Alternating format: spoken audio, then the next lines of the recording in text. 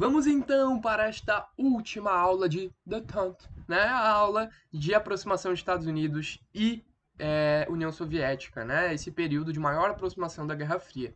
Vale ressaltar, né, que quando a gente vai lá, vai lá para a primeira aula para ver o gráfico, né, de tensão ao longo do tempo. A tensão não é nula. A gente continua tendo tensão, né? E aí muita gente pergunta, né, Bruno, como é que teve guerra do Vietnã? Como é que teve, sei lá, é, pô, essas disputas aí que tu, que tu vai falar nessa aula, né? De esportes, de corrida armamentista, corrida espacial. Como é que teve isso se a gente estava na detente, né? Se a gente estava num período de aproximação.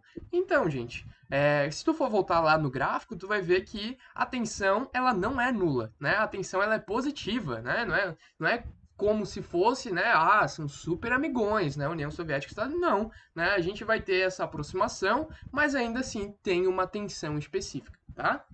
E o que, que vai acontecer?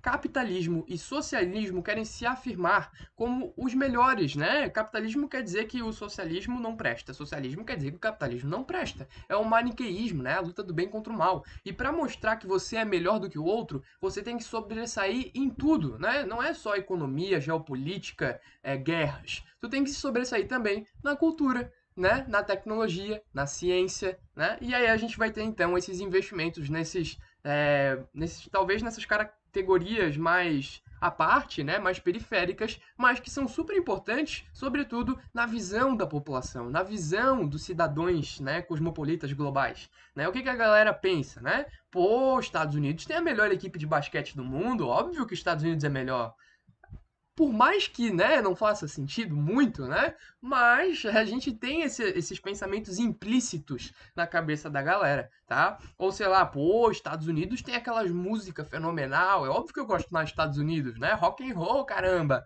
Então a gente tem, né? O povo, mesmo que não se dando conta, a gente tem essas influências culturais que vão demarcar o nosso posicionamento sobre determinados assuntos, tá? Então a gente vai ter tanto os Estados Unidos quanto a União Soviética sabendo disso e querendo investir em ciência, tecnologia e cultura. Tá? Vamos começar então pela cultura, pelos esportes. A gente vai ter um pesado investimento nos esportes, tá? Estados Unidos treinando, né, equipes de todas as modalidades, União Soviética a mesma coisa, e a gente vai ter, principalmente nas Olimpíadas de 1972, fatos marcantes, tá? Então, essas Olimpíadas elas eram de definitivas, né, para decidir qual país se preparou melhor, né? Qual país que está melhor nos esportes naquele momento. E era uma vitrine, era uma propaganda, né? Do, do, seu modo de viver o mundo, né? Do seu modo político, econômico. Então, União Soviética e Estados Unidos usavam muito bem esses momentos. Não é à toa que eles sempre estavam no top 3, tá? Sempre estavam no pódio dos melhores países do mundo em esporte é sempre União Soviética e Estados Unidos.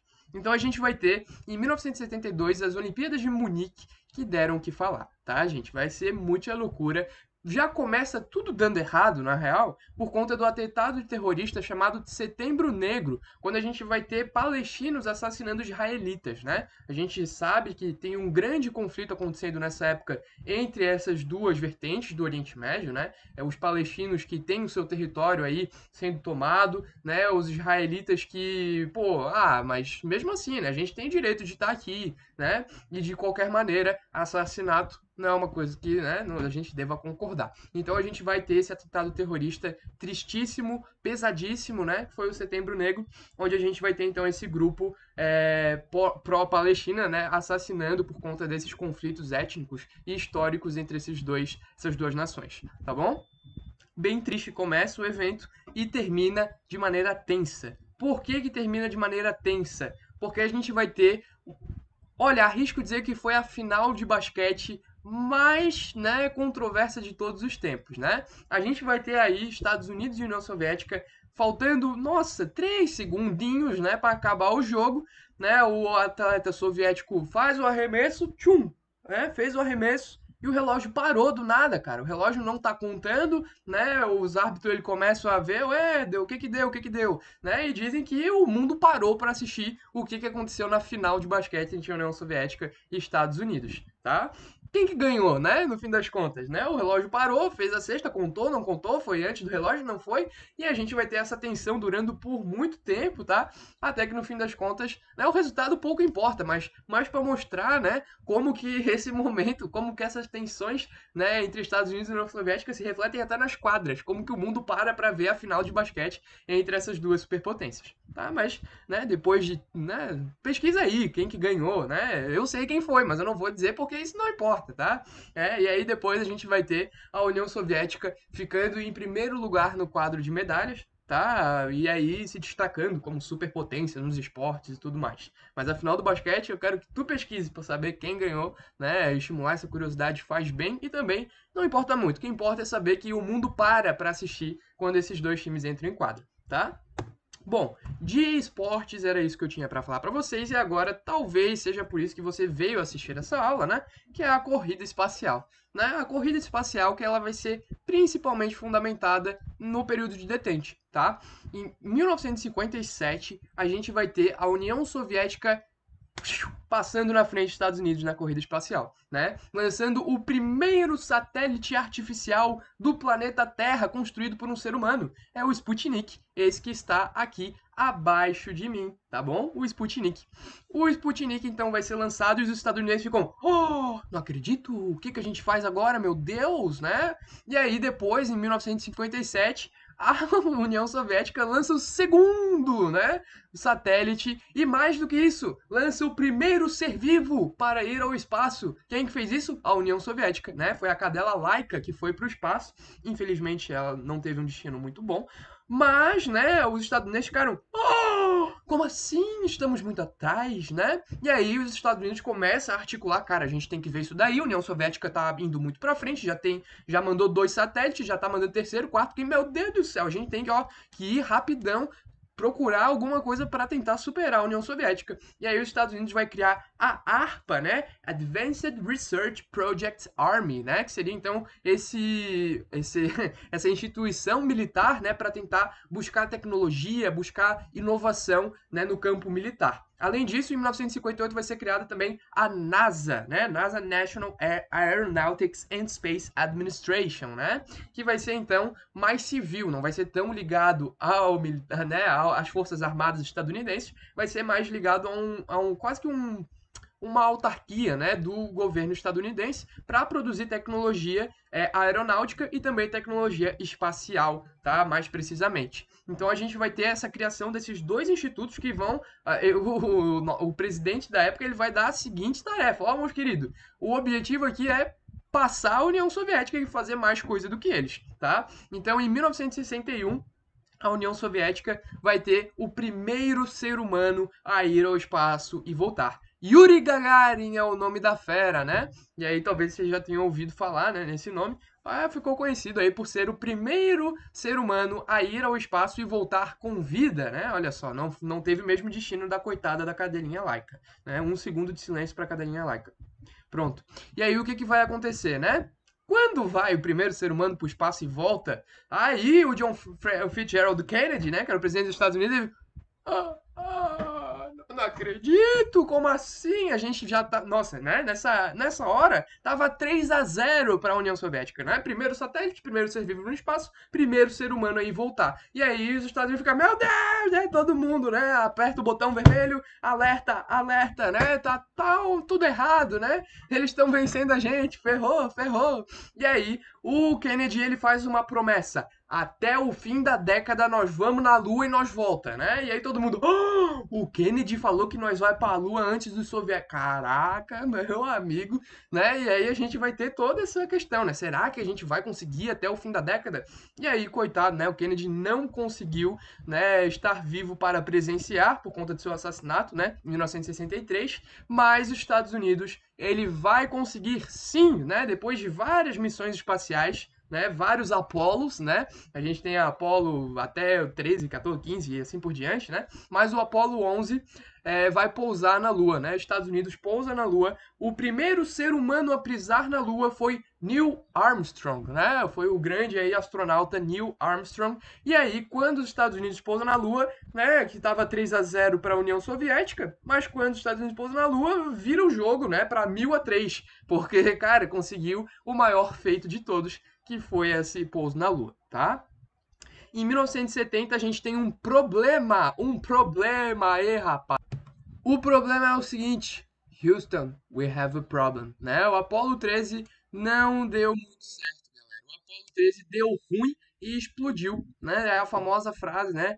Houston, we have a problem. We have had a problem, né? Alguma coisa assim, we had a problem.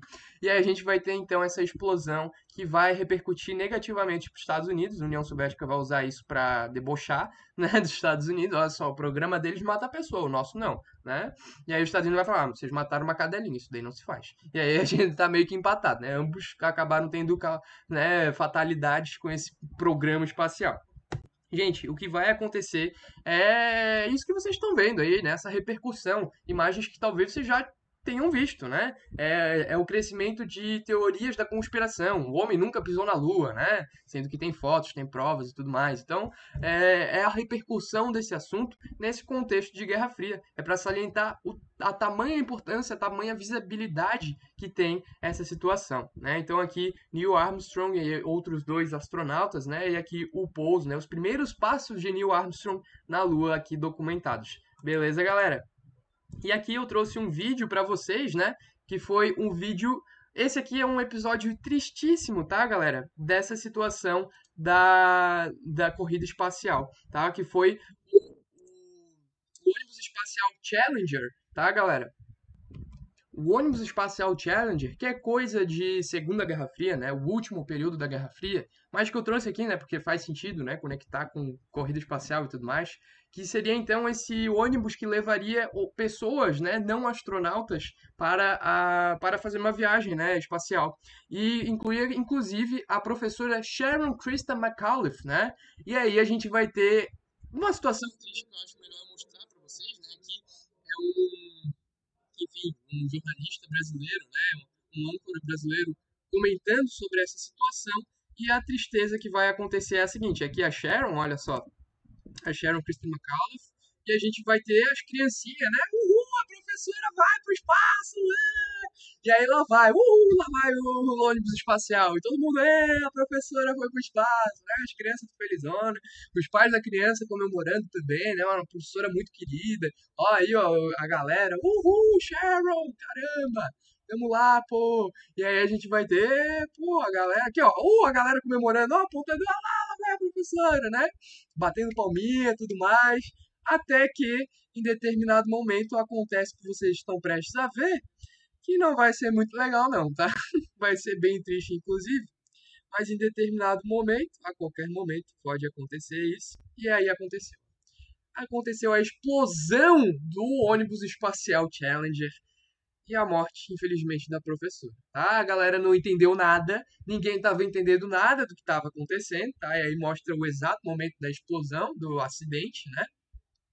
E aí a gente vai ter a galera meio confusa, né? Para a galera isso era normal, tava no script, né? A galera não estava entendendo, né? E dizem até que os primeiros a perceber a situação foram os próprios alunos da professora, né? Então imagina, em um momento lá, uhul, professorinha foi lá pro espaço, daí no outro, a professora morreu.